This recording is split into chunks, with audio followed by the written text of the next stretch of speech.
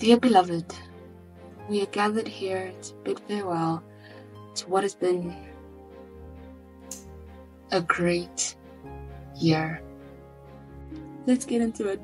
2023, the year that was. With that, the 2023 season comes to an end. Good night.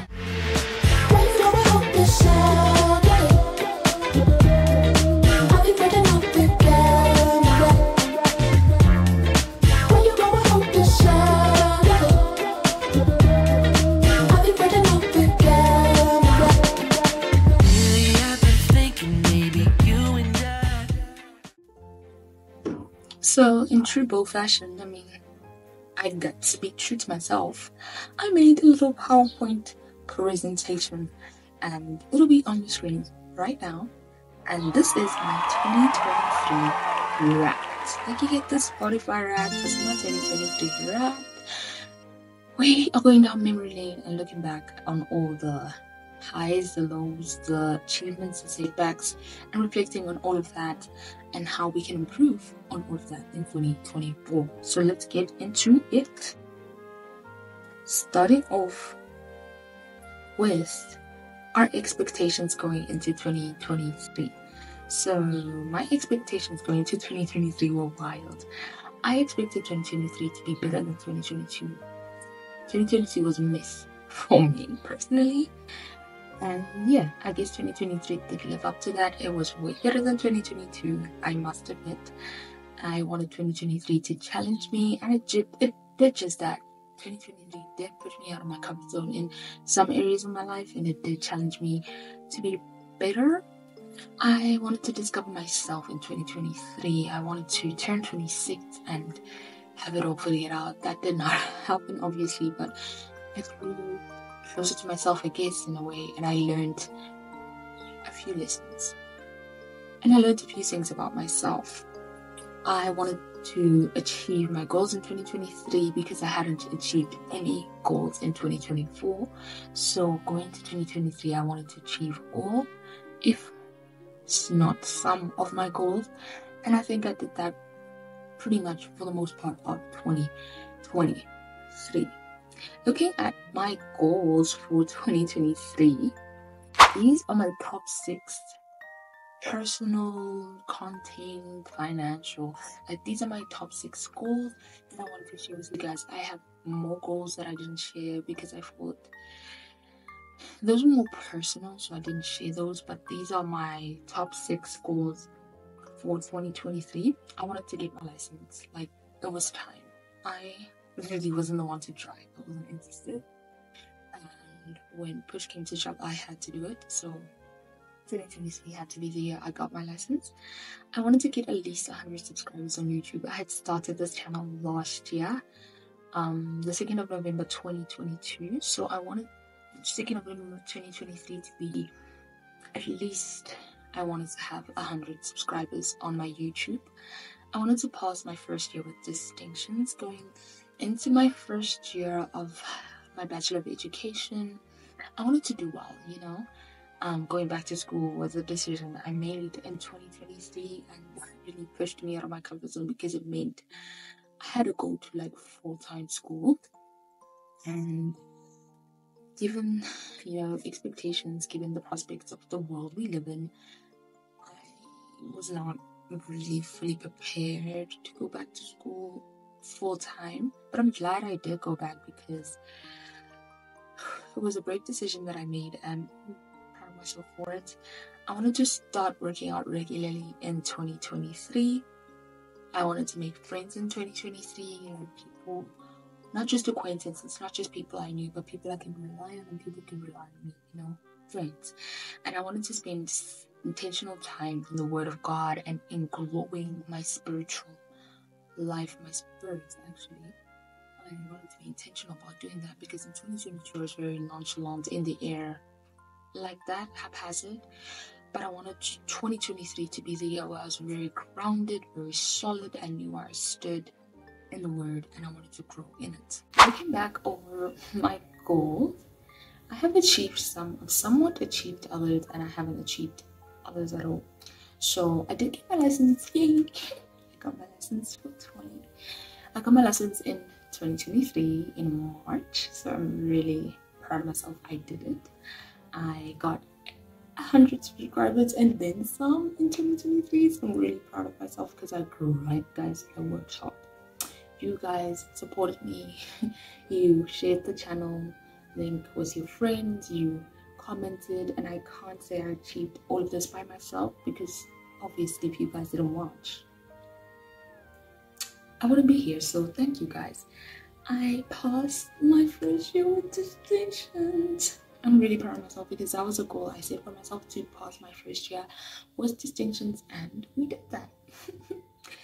I kind of got into like a little rut with this next one. I didn't start working out regularly. I started working out regularly from like January to March, and then I fell off somewhere in April, and then I never went back. So didn't get that one. I'm somewhat made friends, somewhat because I wouldn't say I was very intentional about doing that. I didn't put myself out there that much. I didn't open myself up that much to connect with people, so it's a somewhat achieved. And I also somewhat achieved spending intentional time in the Word because I started off right, you know, studying the Word, I was in it, and then I fell off as per as per me, as per usual. And those are my goals for 2023. Looking back at the lessons that I learned in 2023, I learned a lot in 2023. The first being to trust, not just trusting God, but trusting people is a big one for me that I learned in 2023. The next thing I learned in 2023 is I learned to live. Now, I learned to live. It's pretty vague because I'm, I'm alive and I am living, but I learned to live in the moment, is what I mean. I learned to let go of, you know, the reins and to stop being so rigid about life and to enjoy the moment in the moment. Oh, I also learned to cry in 2023. I learned that crying isn't a bad thing and it doesn't mean you're overly emotional. Some of the magical moments that happened in 2023. The first being I I did it. I reached my goal for 100 subscribers and I'm really really proud of myself for that. I got my license. That was a high. I turned 26. Like who can say that? With a smile on their face and I'm I'm really proud of myself that I'm 26 years old and I'm I still look young and fresh and Thank you, God. I spend time with my family now. This one was a big one for me. Intentional time with my family, not just being there, but being present. Um, I went to camp for the first time. Yeah, I can't say it disappointed. And the next thing is I explored my city as a tourist. I feel like I've been living in the city so long. I haven't actually, actually ventured out and explored the city. So I set that goal for myself and I did it this year, and I'm so proud of myself. Looking at the lows for 2023, well, I got my license, but I didn't drive as much, so that was a low because I, I don't know, I let fear take over, and yeah, let's just leave it there. I was not living in the moment. I think a goal of mine was to be more intentional with being in the moment, enjoying the moment. And I was too much in my head in the moment. I was so worried about everything and anything. Um, there was a lot of sickness in my family this year. Lot. We had two deaths in my family this year. Um, I didn't put myself out there enough. I feel like I had so many restrictions. I had so many restrictions on myself, and I didn't allow myself to really be out there. And another thing is, I was too hard on myself. I was very hard on myself. I had such high expectations of myself, and when I didn't achieve some of the things that I set out to achieve at a certain time, I really went hard on myself. So that was a very not so nice moment. Yeah. Looking at my hope for 2024, my first expectation is I will be kinder to myself. Like I said earlier, I was very hard on myself in 2023. I wanted to be kinder and more gracious and merciful toward myself in 2024. I want to add value to your lives with my content, and I want my content to be on a standard of excellence. I feel like it's time to up the level. Third expectation is I want to let go of the reins. I really don't want to be in charge. I really don't want to have it all figured out by 27. Um, maybe I will, maybe I won't. And I want to have grace to pivot if there is a need to pivot. And the allowance to actually move with the Holy Spirit and as He leads. My fourth expectation is I want to open myself up to others. now, I'm really closed off. I really don't let my guard down too easily, and people tend to think I'm very shy, but I'm not. I'm actually the opposite. And yeah, I want people to see that side of me in 2024. I'll push myself out of my comfort zone. Fact. And my last expectation is I want to start to challenge myself more, whether it's going into 2024 thinking about starting something new, like a new hobby or developing a new skill. I really want to push myself more. I really want to travel more in 2024 if possible. And yeah, those are my hopes and expectations for 2024.